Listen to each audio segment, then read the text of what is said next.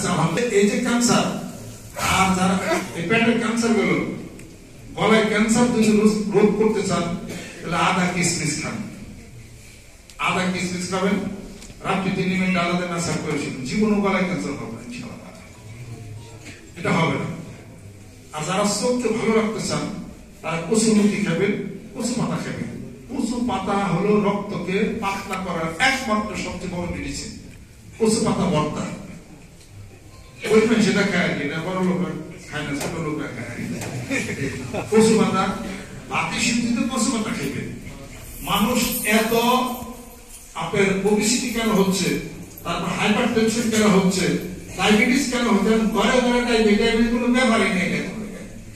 ডাক্তাররা কয় তোর ডায়াবেটিস খালি পেটে এটা কোনো ব্যাপার না চলো আগে ডর আছে এখন কোনো ডর নাই কি করে এই ডায়াবেটিস হওয়ার একমাত্র সবচেয়ে বড় কারণ হলো এই লাল চাউলের ভাত খাওয়া বাড়তেছে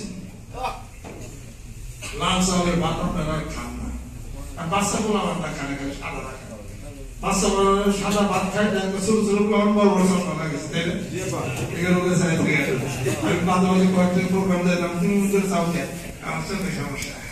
আর এই বয়সে কিছু সমস্যা, ভাই কম খেতে দূরটা না কিছু দূরটা কাঁচাটা ঠিক আছে। বলে লং মিশন হয়েছে আর কি। পরে এগুলো চিকিৎসা করে দিচ্ছে আলহামদুলিল্লাহ ভালো হয়েছে। ওই লাল ভাত দিলে আপনি লাল ভাত খাবেন না? কান্দে খাবেন না ওই সাদা ভাতগুলো পছন্দ করে। সাদা ভাতে সাদা মানে আলু দমাটা আলু এটা করে। লাল চাউলের ভাত খাইবেন আও সামন এটা খাইবেন সাদা চাউল পরিহার করেন আপনারা। এটা চরম ক্ষতি করতেছে। যেটা নাকি শরীরে আপনার আমার রিবোসিন রিবোসিন খাই। হিমোগ্লোবিন খাই পিএল খাই এই ওইটা ওইটা হলো লাল চাউলের মধ্যে থেকে উপরে যে প্রলেপটা আছে এটা হলো আপনার শরীরকে চাউল এটা হলো ব্যালেন্স করে। আল্লাহ পাক কোরআনে কারীমের মধ্যে আশির ফাজিলকে ওয়াল কাযিমিন আল গায়জা ওয়াল আফিনা নাস আলহামদুলিল্লাহ। শরীফের মধ্যে আল্লাহ সাল্লাল্লাহু আলাইহি ওয়াসাল্লাম ইন্নামা শাদীদুল্লাযী ইয়ামলিকু নাফসাহু ওয়া ইন্নাল গসান এগুলো হলো সব হলো আসসাদিকুল আমিন। এগুলো সব হলো সাদেক। সাদেক অনেক ভালো গুণের সমষ্টির নাম হলো সাদেক। আলহামদুলিল্লাহ। আজকে মধ্যে পড়লাম তখন সাদিক মানুষদের ভালো মানুষদের সত্যবাদী মানুষদের সঙ্গী সাথী হোক। যদি যাও তাহলে ওই গ্রাম তোমার শরীরে লাগবে। মুরগি যে বিক্রি করে মুরগি আলার সাথে থাকলে মুরগি গন্ধ হবে মাছ সারাদিন মাছের সাথে থেকে মাছ বিক্রি করবে, তার সাথে ওঠা বসা করলে মাছের গ্রানি হবে আতুর যিনি বিক্রি করে, তার সাথে থাকলে আতুরের গ্রানি হবে। আতুরের গ্রানি আপনার শরীরে ভরবে তবে যে মানুষটার সাথে থাকে, ওই মানুষের মর্যাদায় আপনার হয়ে যাবে। এই যে হাতির শরীরে যে পশম থাকে, হাতির শরীর থেকে ধরে নিয়ে যান, এটার কোনো দাম থাকে না। হাতির শরীরে যতক্ষণ পর্যন্ত নাগা থাকে হাতি ওই রাজ দরবারে যে ভিতরে ঢুকে রাজা তার শরীরে উঠে বাদশার শরীরে উঠে রাজ দরবারে চলে যায় কথা ঠিক কিনা অনুরূপ ভাবে মানুষ যাই কিছু হোক কোন জিনিস হোক কোন বস্তু হোক ভালো কোনো বস্তুর সাথে সংযুক্ত থাকলে ওটার মর্যাদা সেও পায়। শুনেন কোরআনুল কারীম কাঠের খন্ড রেল বানাইছে। ওই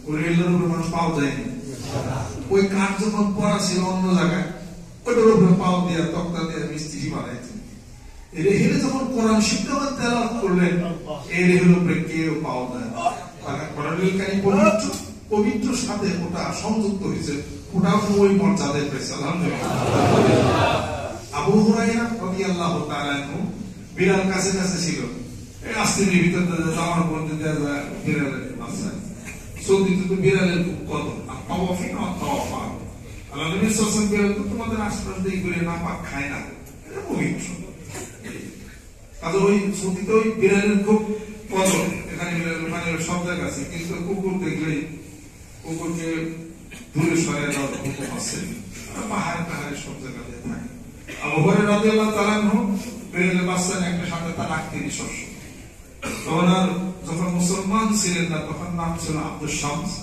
মুসলমান হওয়ার পরে নাম হবে আব্দুর রহমান। নবী আলাইহি তাকে একটা একটা কুনিয়া, আবু হুরাইরা বিড়ালের পিতা। এখন ওই নামে পরিচিত হয়ে গেছে। আর আবি হুরাইরা তো আবু হুরাইরা থেকে একটা হাদিস মরমি আছে তিনি বর্ণনা করছেন, আবু হুরাইরা সবাই আমরা এটা চিনি। এই বিড়ালের বাদশা আবু রাদিয়াল্লাহু সাথে থাকার কারণে জান্নাতে চলে যাবে আলহামদুলিল্লাহ সব বিড়ালের কথা বলেছি ওই বিড়ালের কথাই বলেছি তাহলে ওই আসামের কারণের মধ্যে একটা কুকুর ছিল তিনি বলে দাও এটাও বেশি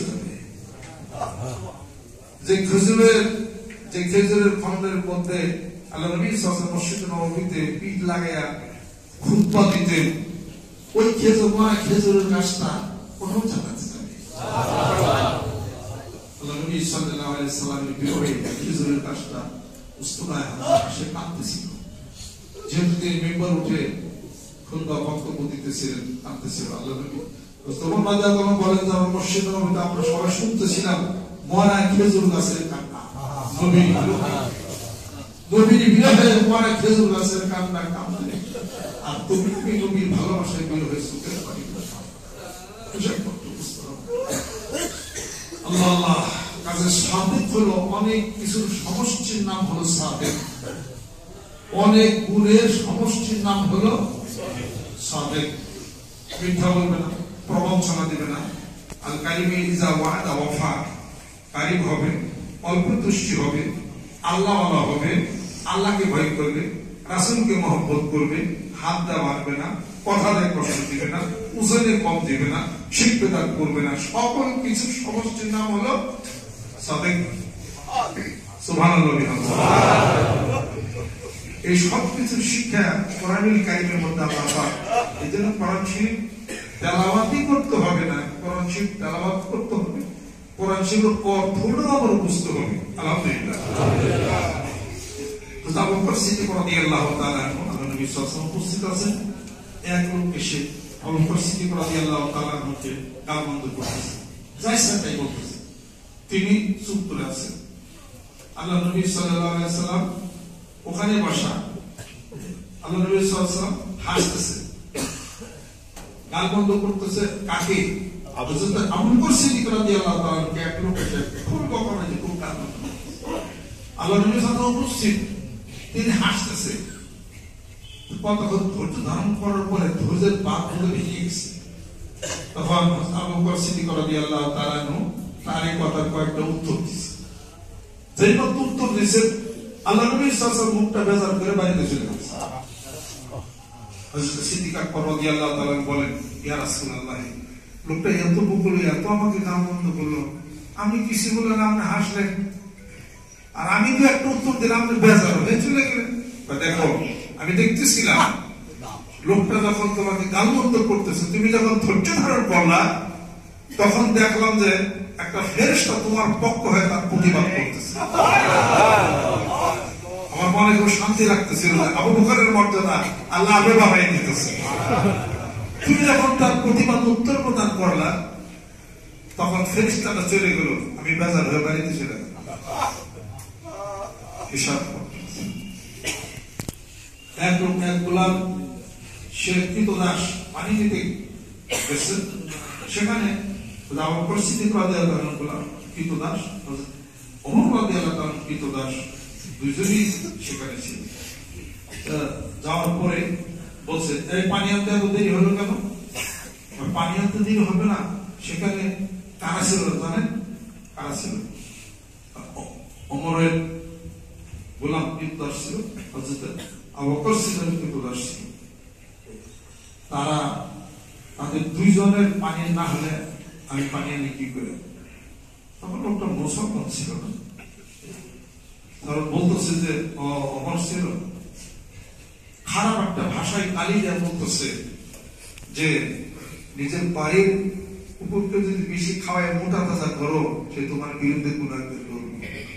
ওর অবস্থা ঠিক তেমন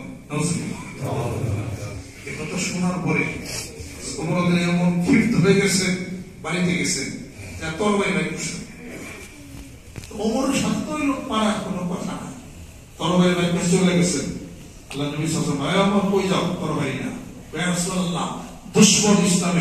শেষ করে গেছে তরবারি রেখে যেতেছেন আল্লাহ নবী আলাইহি বলেন খামোশ। করো। আল্লাহ বলে তার শাস্তি, কাফেরদের শাস্তি আমি আল্লাহ নিব তুমি হাতে নিতে যাও কেন? ধৈর্য ধারণ করো। আবু আবু- হানিফা রাহমাতুল্লাহ এই সবই হলো সাদিকের উদাহরণ। আবু বাড়ি থেকে ঢুকতে এখন পিছনে ডাকতেছেন শোনেন শোনেন ইমাম সাহেব কথা আছে। কি কথা? এরপর জন্তুর পাশে গান বন্ধ করছে এমন গান বন্ধ করছে তিনি চুপ করে দাঁড়িয়ে আছেন কিছু বলেন না। এরপর বলতেছেন যে আপনার কথা কি শেষ? কয়, আমার কথা শেষ। আপনি যাবেন আমার কোনো কথা নেই। বাড়ি তুলতে চলে গেছে। সামনে যারা ছিল, তারা দেখতেছিল শূন্য থেকে একটা তরবারি একটা তরবারি এসে লোকটাকে দ্বিগুণ দিতে বাড়ির বাইরে চিন্তা চিকি শুরু হয়েছে। বেরিয়ে আসছে।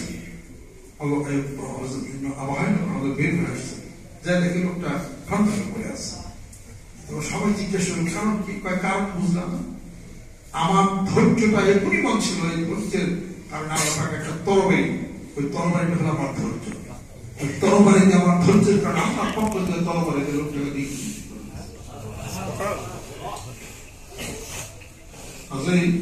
নামাজ পড়লে এক জিনিস, নামাজের অর্থ বোঝা আলাদা এক জিনিস। নামাজের কাতার সোজা করি সে কাটা সোজা করো, কাটা সোজা করো। অর্থাৎ দেহ তুমি বুঝাও এই কথাটা বিকাশের দায় সোজা করবে নিকাশের দায় ওরে খারা মারবেলে আতসের পুরা সোজা করবে বেকাতারা বেকাতারা হয় না, সোজা হোক, কাটা সোজা এই সোজা মানে দুনিয়ার বেকাতারা তো সব সোজা হোক। জানলাম না সত্তা বিলবিলা বেকাতারা সোজা হোক। আল্লাহ পাক বলেন ওয়া ইয়াকুতুহুম ফি তুগয়ানি নি'মাহুম উলাইকা আল্লাযিনা ইশতারাউ ad-দালালাতা বিল হুদা ওয়া রাবিহাত তিজারাতুহুম ওয়া কানু মুহতাদিন তাদের তো রশি দিয়ে দিছি। ধরবো তাদেরকে একদিন আসরের ময়দানে। আর যে নামাজ হলো আপনার সোজা করো মানে? সোজা হয়ে যাও। আর কি করো? ধনী আর গরিব কোনো পার্থক্য নাই। ধনীরা সামনে দাঁড়াবে পিছিয়ে দাঁড়াবে এটা কোনো নাই। আজ ধনী আর গরিবকে একই প্ল্যাটফর্মে আসছে, সাদা কালোকে একই প্ল্যাটফর্মে ইসলাম এসেছে আর নামাজের পরিচিত হয়, প্রত্যেকটা অর্থে পরিচিত হয় না। আমাদের সালাম, কেমন আছেন? ভালো আছেন? বৃত্তান্ত। এই যে পরিচিত হয় পাঁচবার। মহব্বত মানে কিনা জোর বল তারা নামাজ আসে, তাদের মহব্বত শুরু করবে সামাজিক দূরত্ব কম কমে যাবে জোর বল সুবহানাল্লাহ। এই সব কিছু হলো নামাজে উপস্থিত হওয়ার এটাই হলো গুরুত্ব। আর নামাজে একমাত্র মহান মাহমুদের সাথে দিদার হওয়া সম্ভব। আমাদের যে নামাজ আল্লাহ পাক কবুল করেন হযরত রাদিয়াল্লাহু তাআলা বলতেছেন আমি ওমর যদি আমার জীবনে সমস্ত আমলগুলি যদি বরবাদ হয়ে যায় আর দুরাকাত নামাজ যদি মহান মাহবুবের দরবারে কবুল হয়ে যায় আমি ওমর হাসরের ময়দানে আমার মাফের জন্য কাফি হয়ে যাবে। দুরাকাত নামাজ যদি আল্লাহ পাক কবুল করেন আমি মাফের জন্য কাফি হাজার বার মিটার নাই। হলো কি? না নামাজ হলো মুনকার। নামাজ হলো থেকে নামাজি ব্যক্তিকে ফিরিয়ে আনবে। নামাজের মতো নামাজ যদি হয় নামাজে হইলি খারাপ আজাদিন হইল সোয়াদ নামাজের পরে মনটা যদি দৌড়ায়, তাহলে এই নামাজ হলো না খুশি খুশির সাথে এই নামাজ হলো না এর কাল খুশি খুশির হওয়ার জন্য পূর্ব শর্ত হলো তার অন্তর, তার দিল তার সাবেত হইতে হবে হইতে হবে, স্থায়ী হইতে হবে। যে দেহের হৃদয় দিয়ে একমাত্র আল্লাহকে হাজির নাজির বলে সে বলবে, মনে করে দাঁড়াবে যে আমি যেন দেখে আল্লাহ আমি যেন দেখে পরম পরবর্তীতে আপনার ফুটুতে পাই সেজদা দিতেছি। আমি দেখেই যেন এই নামাজ পড়ি, নামাজ সারা জীবনে একবার হজ, বছরে একবার রোজা রোজা, আর জাকাত একবার, আর নামাজ হলো দিনের হাজিরা দাও কার কাছে? মহান মালিকের কাছে। মহান মালিকের সামনে পৃথিবীর কাউরে না। হ্যাঁ, আল্লাহকে।